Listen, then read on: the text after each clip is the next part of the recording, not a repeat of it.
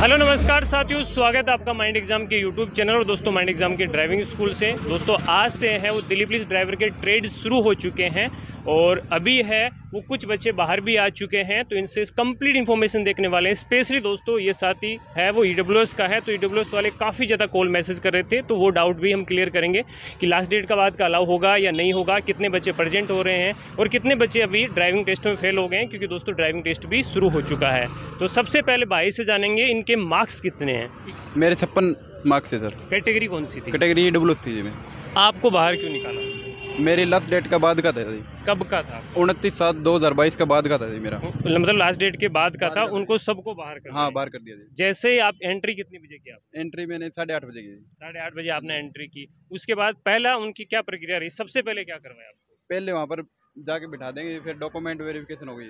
ठीक है डॉक्यूमेंट में कौन कौन सी डॉक्यूमेंट चेक डॉक्यूमेंट में टेंथ का जी ट्वेल्थ का जी और ई डब्ल्यू सर वो कैटेगरी अगर ओबीसी हाँ। वगैरह का है तो ओबीसी वगैरह एस Category सी का चेक कर रहे हैं। लाइसेंस जी लाइसेंस ओरिजिनल ओरिजिनल जी हाँ जी। और बाकी के डॉक्यूमेंट की फोटोकॉपी फ़ोटो कॉपी जी बाकी की फोटोकॉपी चाहिए होगी। और अभी आपने देखा कि अब आपके हिसाब से कितने बच्चे हैं वो डॉक्यूमेंट में बाहर हो रहे हैं? और अप्रोक्सीमेटली हम डॉक्यूमेंट में तो ज़्यादा बाहर नहीं हो रहे जी। अच्छा डॉक्यूमेंट में जिनका जैसे कि आपके छप्पन नंबर है तो आप हाँ। जनरल से नहीं जा सकते आप। हाँ तो ही आपको बाहर करें जिनके अट्ठावन प्लस है तो उनको ई में अंदर अलाउ कर रहे हैं बाद में। हाँ जी। उनको अलाउ कर रहे हैं। और आपने आपके सामने जब ट्रेड टेस्ट शुरू हो रहा था तो कौन कौन से व्हीकल और कौन कौन सी ऑप्टिकल थे? टाटा चार सौ सात सात थी जी और बावन सीटर बस थी जी।